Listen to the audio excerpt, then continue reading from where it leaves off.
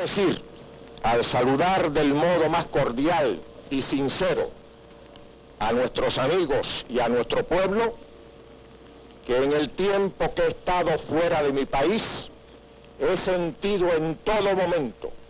el profundo orgullo con que todas las naciones y todos los pueblos de la tierra saludan a la grande y profunda revolución cubana.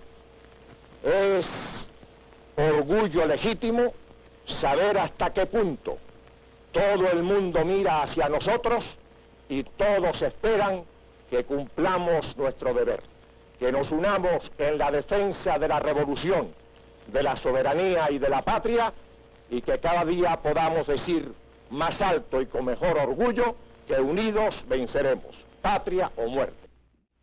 Marinero vivirá, sin duda eternamente,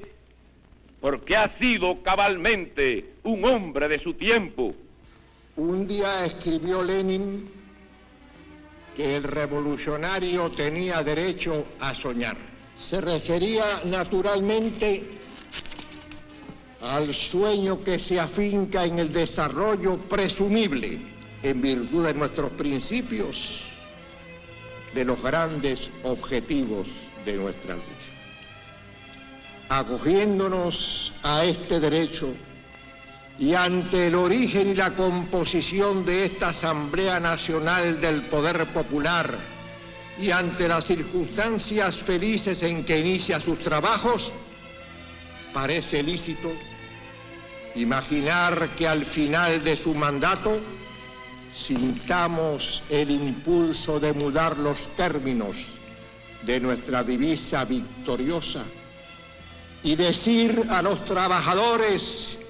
y a los pueblos todos del mundo, estimando profundamente su solidaridad invalorable, patria o muerte, hemos vencido.